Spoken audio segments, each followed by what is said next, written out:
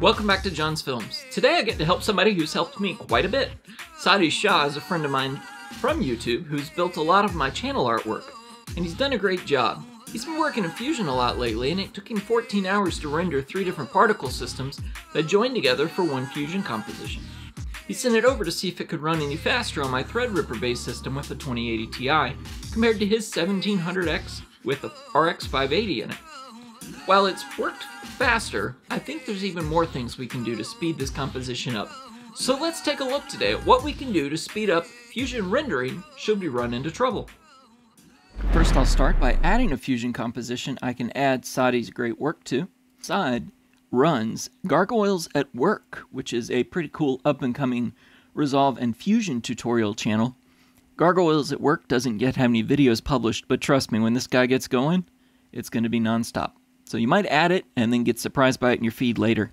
I've added Sadi's composition here to my timeline. Sadi was playing with both uh, three-dimensional objects and lighting and render effects, so you're looking at quite a lot going on with particles. Here we can see exactly what he is doing, basically creating particles through a renderer and then blurring them with highlights, followed by a glow with color corrector around it, and then again with the larger particles now, that are going to be fed in and viewed by this 3D camera system with a glow around them color correction merged into a final color correction which applies then film grain on top and shoots it out to our media out node. Due to all these different renderers, due to the amount of merge of three-dimensional objects, you're looking at some serious pain here. Uh, further, you're keeping track of multiple lighting and multiple cameras. Let's just see how painful this is if I try and run it once through. Yeah, that is bringing pain. Let's see what happens here inside our performance management. Uh, you can see the processor and you can see the GPU. So at this point, the GPU is doing some work. It is possible his RX 580 is hurting him in real-time playback. You see the memory utilization inside the GPU. So he's bound but 8 gigabytes of RAM, whereas I have 11 here with my 2080 Ti. And it's almost consumed all of that it will immediately start to swap off into the shared GPU memory space. This is actually system memory. So there is hope for Sadi yet because he's using an RX 580. It has 8 gigabytes of GPU memory. This 2080 Ti has 11. If he were to go to, say, a Radeon 7, he'd be looking at, I think it's 16. And then if he had money falling out of his pockets and ears, he could buy a Titan RTX, which has 24. So that would at least solve a little bit of the problem in allowing this to feed the processor more data as it's trying to render. Now I'm going to stop that which you can see because I only have one graphics card in the system at this moment, you can see this has gotten so far into the render and worried about building out this entire scene that the UI or display running on the same graphics card has lagged. This is something you could mitigate a bit by adding another graphics card to your system, and that would allow you to uh, distinguish that graphics card explicitly for display, and then use your other graphics card for 3D rendering only. I have a couple sitting around here but haven't thrown them in the machine. That would certainly speed this up a touch, as it would free up all the resources on the 2080 Ti to be able to work through this render. Or another way that we could try and speed this up would be to use what's called savers, which effectively means let's pre-render a lot of this stuff and have it available to us for use. You'd have to choose very carefully what you pre-rendered and what you did with it because you wouldn't want to have to go re-render it constantly. However, if you were able to do that, maybe you take off some of these initial renders as savers, and we'll try this in a minute, um, and then reload those items, I think you'd be able to speed this up quite a bit. If you really could do it after this renderer here, you'd really start to speed stuff up because you're trying to deal with spotlights, point lights, and cameras.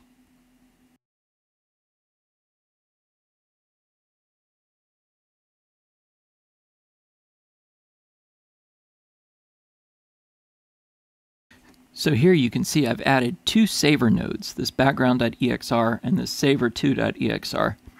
This saver node allows you to pre-render using the Fusion menu, Fusion, render all savers, and what that does is let me pre-render this, store this as an EXR file on disk, and then I'm able to reload that back in as a finished product frame by frame.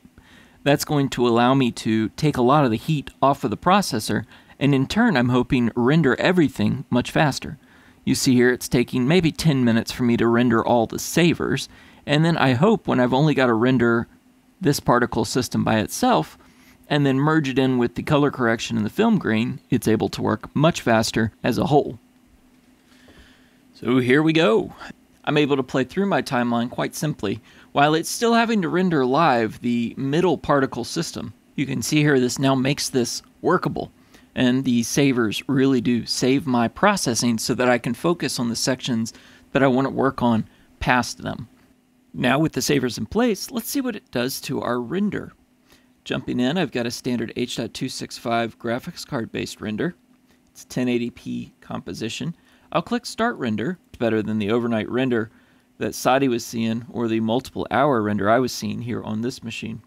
Took 8 seconds. Alright, John, so that's great. Most of it's been loaded off of your disk, though. See?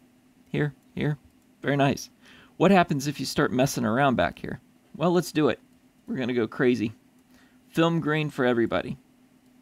Strength, roughness, why not? There we go. I'm going to change the color of these particles, blow them up to blue somehow. Let's see what that looks like. Yeah, it's got like a blue tinge on it. That's pretty cool. I like that treatment. Okay. So now I will jump back over into my delivery tab and I will start the render again. Now it's got to regenerate a lot more work on the back end of this. But because it's got the loader in place with the saved particle system in the background, I'm able to apply what you can now see is this film grain and a bluish tint to some of these particles just by rendering for what looks like it'll be around, I don't know, 45 seconds. This is a much better result for tailoring this than having to wait and render this day after day after day. 41 seconds. Fantastic. Here is that final effect, me messing up Sadi's composition. Well done here, Saad. That looked really good. Well, Sadi, I hope that helps. I really do appreciate your help on this channel. The savers do save quite a lot of time, and when you're rendering them individually, it doesn't take as much time as when the entire system has to compile them together. Plus, now we have the benefit of being able to save those items off, using them as particle systems in the future that are pre-rendered, only having to change them if we'd like to really mix things up. Thanks for watching, everybody, and thank you for the feedback on the channel. Let me know if there's a topic you're interested in me researching, and do me a favor, like and subscribe so that you can catch more of this content. Thanks for watching. Have a great day.